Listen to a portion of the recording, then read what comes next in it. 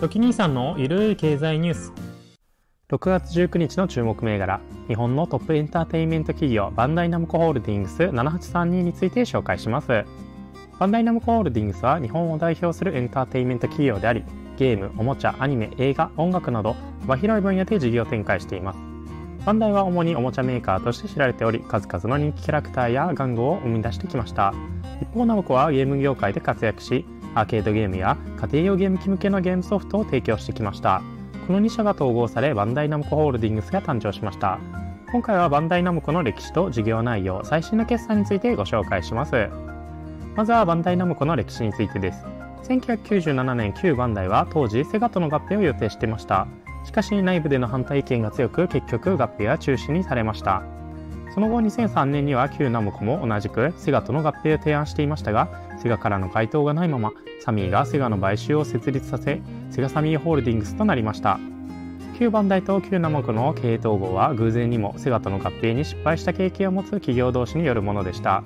両者の企業使命であるエンターテインメントを通じて夢や感動を提供するという共通の価値観がありまた重複の少ない事業部門の統合によって統合は順調に進みました。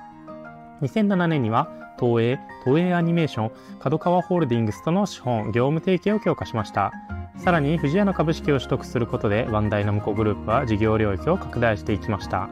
その後の2009年には、バンダイナムコグループは、機動戦士ガンダム30周年プロジェクトを立ち上げました。このプロジェクトの一環として、東京都の潮風公園に、ガンダムの等身大立像が展示され、多くの人々に眼頭を与えました。2019年にはバンダイナムコホールディングスは日本の株式市場での存在感を高めることとなります。日経平均株価構成銘柄に指定され、トピックス100の構成銘柄にも採用されました。そして2021年にはバンダイナムコホールディングスは新たなコーポレートロゴと企業理念を発表しました。企業理念はミッションやビジョンからパーパスへと改定され、これらの変化は2022年4月から採用されることとなりました。バンダイナムコホールディングスは経営統合を経て様々な変革を遂げながらも世界中の人々にエンターテインメントを提供し続けています。グループ企業の本社移転や事業拡大などの取り組みを通じてバンダイナムコグループはさらなる成長を目指している企業です。続いては事業内容です。バンダイナムコグループは幅広いエンターテインメント分野において事業展開を行っています。事業内容を大まかに分けるとデジタル事業、主にゲームソフト、トイホビー事業、主におもちゃ、IP プロデュース、アニメ制作、アミューズメント事業、ゲームセンターなどがあります。今回はその中でも主力の2つをご紹介します。まずはデジタル事業についてです。デジタル事業はネットワークコンテンツの企画、開発、配信、家庭用ゲームなどの企画、開発、販売を主に行っております。その中の家庭用ゲームで世界中で愛される人気のシリーズを生み出し続けています。例えば、テイルズ・オブシリーズは豊かなストーリーと魅力的なキャラクターで多くのファンを魅了しています。100万本以上の売り上げを上げる常連といえるシリーズです。パックマンはゲーム業界のアイコンとして世界的な知名度を誇り、様々なメディアで活躍しています。最近では世界中で人気のエルデンリングも、フロムソフトウェアとの共同開発です。全世界で2000万本を売り上げた超大作ゲームとなりました。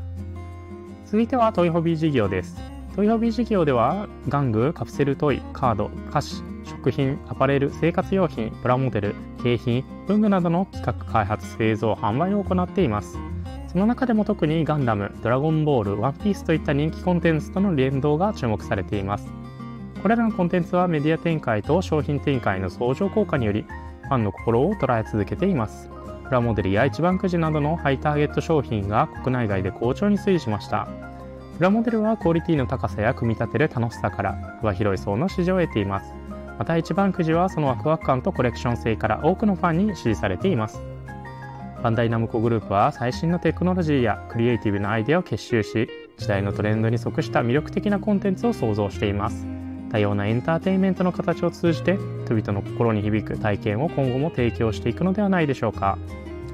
それでは最新の決算についてです。バンダイナムコホールディングスは5月11日に決算を発表しました。2022年度連結会計年度においては、新型コロナウイルス感染症の影響や経済環境の変動が続く中で、グループはパーパスと新ロゴマークの導入、そして3カ年の中期計画の実施を始めました。特にデジタル企業ではネットワークコンテンツや家庭用ゲームの人気タイトルの販売が好調であり、トイホビー事業でも大人向けの商品やカード商材が利益率を高める貢献をしました。売上高は前年比プラス11.3%の9900億円となりましたが、当期純利益は前年比マイナス2.6%の903億円となりました。今後の見通しについては、バンダイナムコグループは株主還元を経営の重要施策と位置づけており、2025年の係数目標を設定しています。連結売上高は現状プラス11%増の1兆1000億円。連結営業利益は現状プラス33%増の1250億円。ROE は12%以上を目指すとのことです。日本のトップエンターテインメント企業バンダイナムコホールディングスの株価チャートを分析していきましょう。まずバンダイナムコはゲーム業界に分けられる銘柄です。ゲーム業界は世界中でゲーム市場が拡大しており、今後の値上がりが期待できます。業界の特徴としては、ヒット作が出ると株価が急上昇する。為替や戦争リスクに影響されにくいというものがあります。つまりゲーム業界はディフェンシブ銘柄と言えます。なので実は長期的に保有するのがいいかも。長期視点で見ていくと現在の3450円付近は少々お高めな値段です。ディフェンシブといえど日経が下がればある程度釣られると思うので拾えるなら3000円近辺旅行を言えば2700円あたりで拾いたいところです配当利回りはそんなに高くないですが優待もおもちゃと交換できる子供商品券などをもらえるので長く持って高値をゆっくり待ちたい銘柄かなと思います。結論今は高いかなと思うロキ兄さんでした。ご視聴ありがとうございました。